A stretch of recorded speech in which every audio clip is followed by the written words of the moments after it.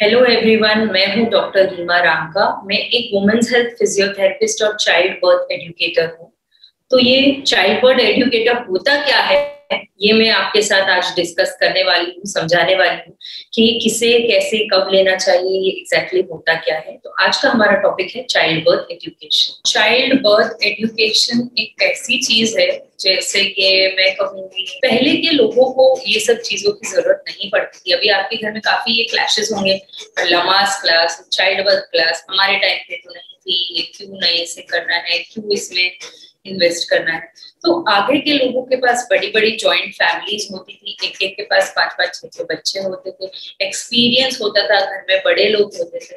अभी प्रॉब्लम ऐसा है कि काफ़ी लोग न्यूक्लियर रहते हैं। काफ़ी लोगों के पास ज्वाइंट फैमिलीज़ भी है, पर शायद इतना ओपन अप नहीं होते हैं अबाउट बहुत सारी चीज़ें आपस में डिस्कस नहीं कर पाते हैं। बहुतों के पास बहुत सारा इंटरनेट नॉलेज है।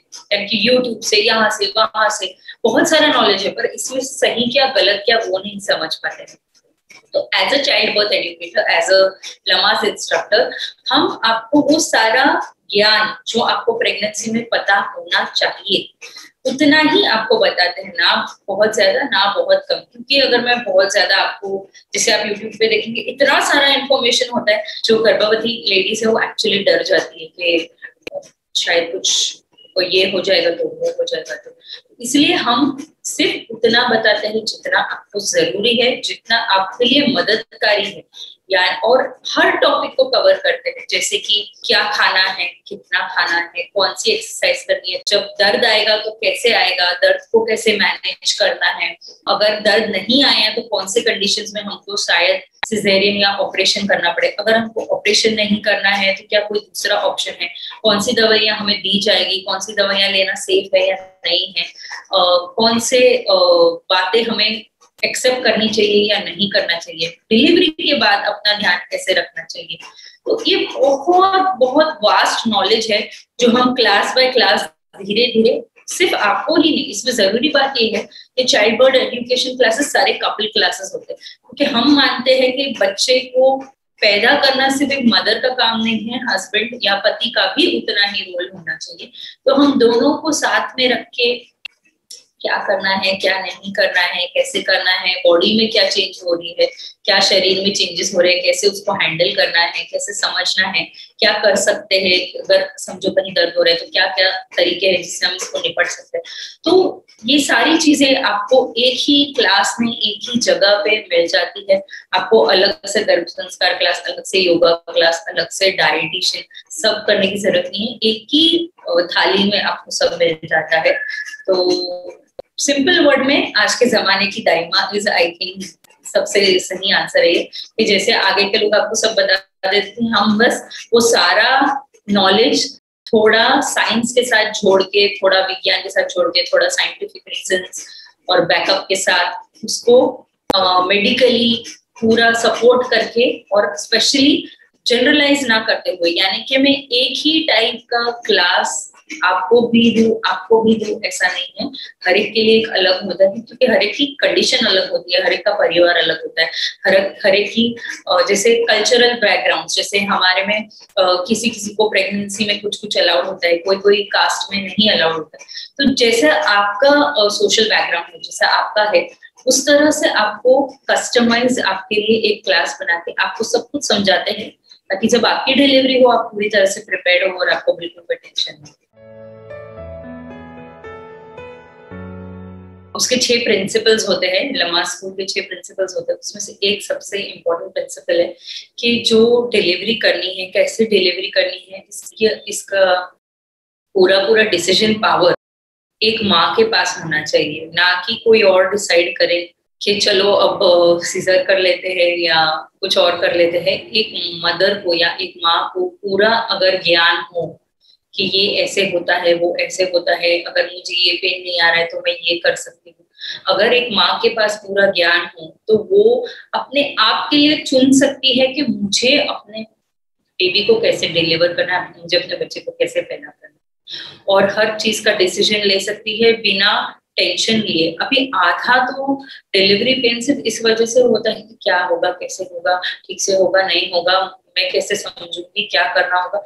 अगर ये चीज़ के लिए आप पहले से दिमाग में आपने तय कर लिया है कैसे क्या करना है। तो इट बहुत ज़्यादा आसान हो जाता है आपके लिए कुछ भी डिसाइड करना।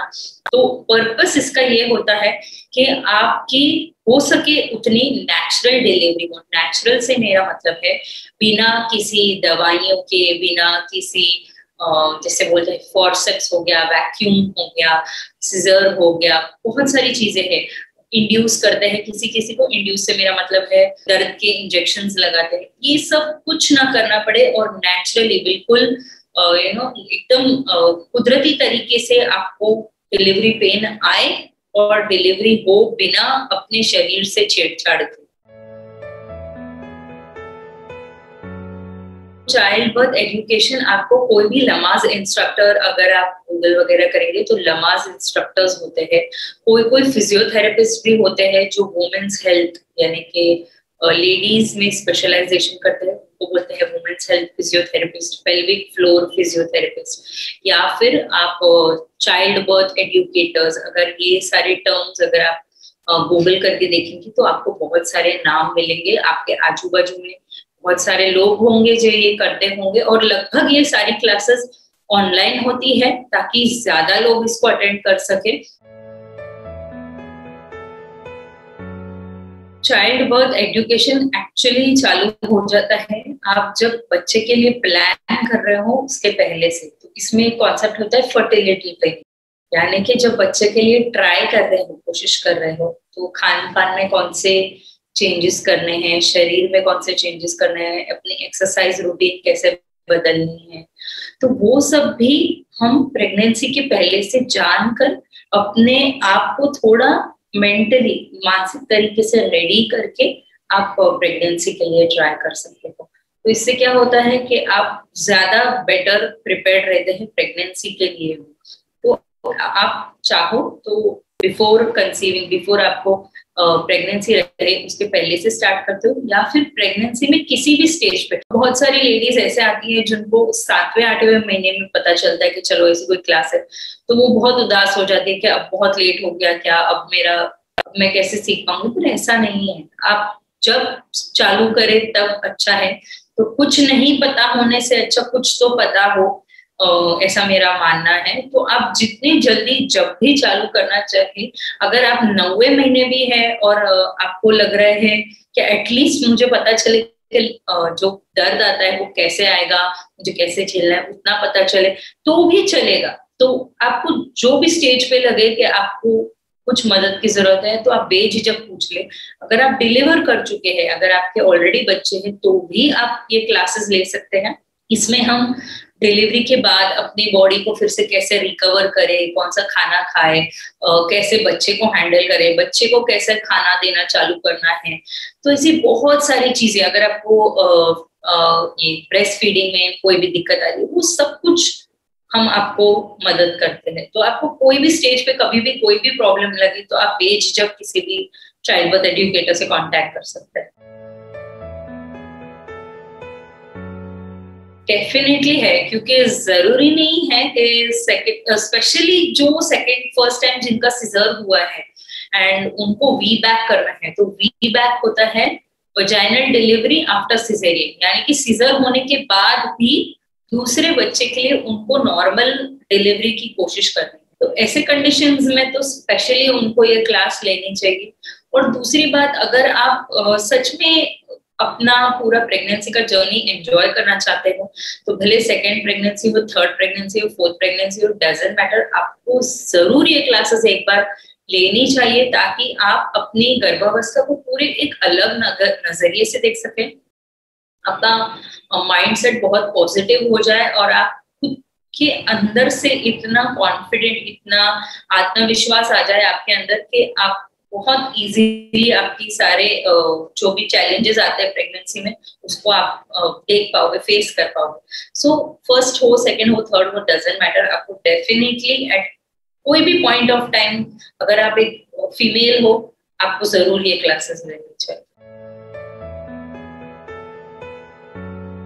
ज़रूरी नहीं है प्रिफर्ड है। मैं ऑलवेज प्रिफर करती हूँ। कि आपके हस्बैंड या आपके पार्टनर आपके साथ अटेंड करें।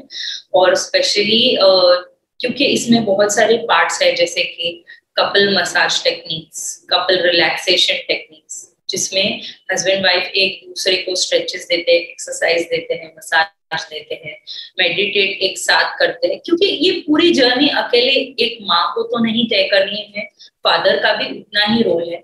Add on not only mom and dad जो लास्ट के थोड़े क्लासेस होते हैं, उसमें हम घर के जो बड़े हैं, यानी कि माता है, सास है, ननंद है, या जो भी उस लेडी को डिलीवरी के बाद उसका ध्यान रखने वाली है, उसको भी इंक्लूड करते हैं, ताकि उसको उनसे हम बातचीत करके समझते हैं कि ठीक है डिलीवरी के बाद आप क्या करने वाले हो, आप खाने में क्या देने वाले हो, आपके यहाँ कौन से कस्टम्स है जो फॉलो करने होंगे, क्या वो सही है या नहीं है, क्या वो फॉलो करने ज़रूरी है? जैसे कि एक बहुत पुराना कस्टम है अपने में कि एक सर पूरा बाँध देते हैं कॉटन डाल के। बट किसी किसी को गर्मी इतनी लगती है एंड ऑलरेडी बहुत हॉट रीजन में रह रहे जैसे कि राजस्थान समझ लो। और उसमें भी उनको ऐसा सरवर बाँध देते, कान में कापूस डाल देते, बहुत अनकंफर्टेबल हो जाता है। पर एज अ मदर शायद आप बात ना कर पाओ आपके इन लॉज से, आपके पेरेंट्स से। तो वो हम करते हैं, हम पहले से ही एक क्लास में बिठाते हैं डिलीवरी के पहले और समझते हैं कि क्या क्या है जो वो करने वाले हैं, जो करना चाहिए, नहीं करना चाहिए, क्या छोड़ सकते हैं, जो क्या करना ज़रूरी है। तो ये एक फैमिली क्लास जैसा हो जाता है कि सब लोग इन्वॉल्व है। सब लोग का इसमें योगदान है कि कौन क्या करने वाला है, कौन कौन सी रिस्पॉन्सिबिलिटी ले। नहीं, ये बिल्कुल एक्सपेंसिव नहीं है। बिकॉज़ uh, अगर आप एक बाहर मेरे ख्याल से खाना खाने भी जाए तो चार फोर हंड्रेड फाइव हंड्रेड चार सौ पाँच सौ तो ऐसे स्पेंड कर सकते हैं कर देते हैं। ये एक क्लास है जो आपकी पूरी ज़िंदगी का अनुभव पूरी प्रेगनेंसी का अनुभव बदलने वाला है। तो मुझे नहीं लगता कि एक हज़ार रुपए में आप को इतना सोचने की ज़रूरत है। और अगर आपको ऐसा लग रहा है कि ये बहुत ज़्यादा महँगा है तो आप ज़रूरी नहीं है कि पूरी की पूरी क्लासेस ले। आप चूज़ कर सकते हैं कि ये वाला टॉपिक ये वाले विषय पे मुझे थोड़ा ज़्यादा जानना है तो ये वाले टॉपिक वाला क्लास मुझे अटेंड करना है। और अगर आप इसका आउटकम देखेंगे कैसे देखने जाओ तो अगर आप आउटकम देखेंगे, अगर आपका सिजेरियन होता है तो आपका वैसे भी जो कॉस्ट होता है डिलीवरी का ऑलमोस्ट डबल हो जाता है।